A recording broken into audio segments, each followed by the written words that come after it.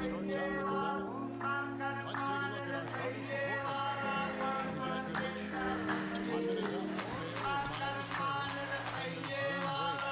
And it's Francis in the point guard position.